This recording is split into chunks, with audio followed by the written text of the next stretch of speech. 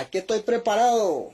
para darle por la madre a esos golpistas de mierda. José Rolando Castillo Vanegas fue citado por la justicia española para responder por la denuncia de amenazas. El fanático del régimen orteguista que reside en Madrid tendrá que presentarse el martes 2 de febrero al juzgado de instrucción número 13 de esa ciudad, debido a que hace un año, a través de redes sociales, advirtió a los que él denomina golpistas, sujetando una escopeta, estar listo para frenarlos, para que no anden jugando con la dignidad del pueblo y que no le falten el respeto al comandante, es decir, a Daniel Ortega.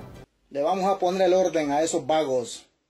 delincuentes, terroristas, la advertencia armada del ciudadano que participa frecuentemente en las actividades partidarias organizadas por la Embajada de Nicaragua en España llevó a la comunidad aglutinada en SOS Nicaragua Madrid a denunciarlo por amenazas y apología del terrorismo y ahora Castillo tendrá que responder por sus actos.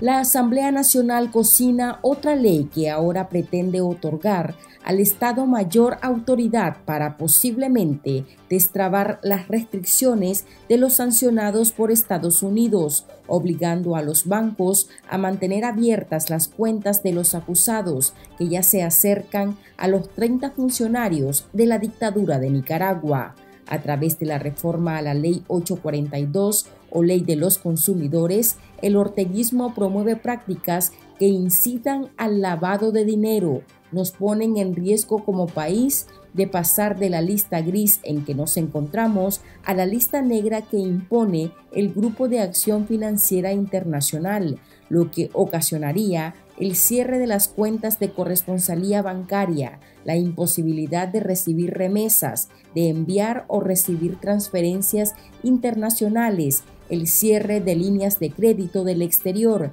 y cancelación de contratos con las marcas de tarjetas de crédito, denuncia Sobam.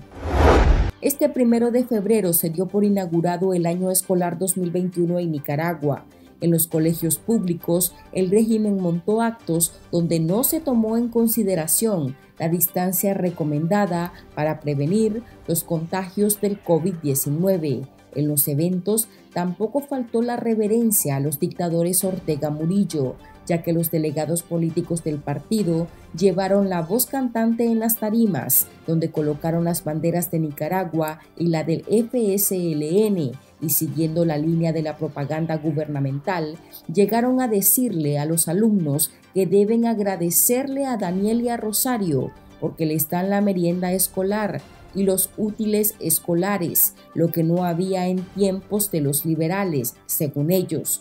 La Unidad Sindical de Maestros Democráticos calificó ese actuar de ofensivo y agresivo para la niñez y juventud y afirmó que el arranque del ciclo lectivo ha sido más politizado que nunca. Según el Ministerio de Educación, a las aulas de clases regresaron al menos 1.700.000 alumnos y 57.500 docentes.